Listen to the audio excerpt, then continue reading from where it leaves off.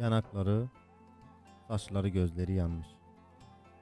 Zehirli gaz bombaları yılan gibi sokmuş yalamış gövdelerini. Ağızları küçücük dilleri yanmış. Bütün Beyrut sapsarı kalmış. Sanki ağlamak imkansız. Başları paletlerle ezilmiş babaları. Yahudi doğramış analarını. Binlerce çocuk topların, betonların altında. Beyrut'un gözyaşları şimdi. Kudüs'ün yanı başında. Müslümanlarsa uzakta, sanki başka gelinmez bir dünyada. Acım bir vadi, zehirli çiçekler bir ova gibi karşında. Gözüm baksın sadece ayrıntıları. Kıvrılıp kırılmış bilekleri, kemikten yakılmış etleri, kuma serilmiş cesetleri. Büyük ajansların yaydığı resimleri bir seyirci gibi görsün, dursun, bir kadın gibi ağlasın.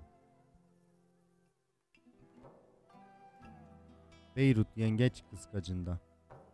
Çoğu Müslüman kafir yanında. Yaslanmış yastıklara sonunu bekler filmin.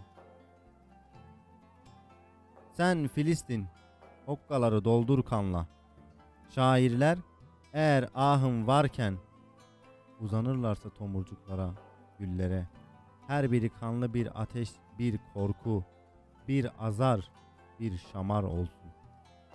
Filistin sen bak işine, kar toprağını, yoğur gazabını yaradanın. Bu ateş bulutu hangi kavmin üzerinde? Çam ormanlarının salınışında, kuşların cıvıldayışında, otların serin tenlerinde.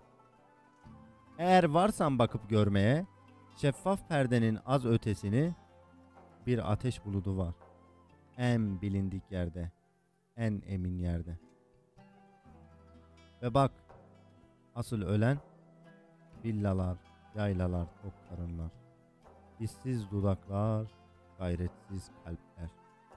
Asla değil kavruk çölde yatan kadavralar. Farz et körsün, olabilir. El ele tut, taş al ve at. Kafiri bulur.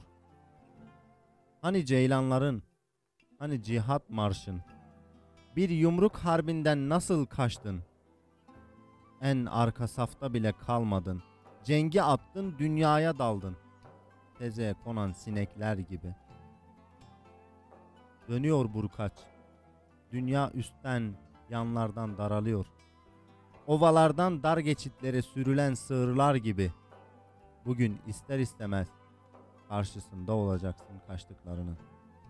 Dua et, o gün henüz mahşer olmasın. Dua et, o gün henüz mahşer olmasın.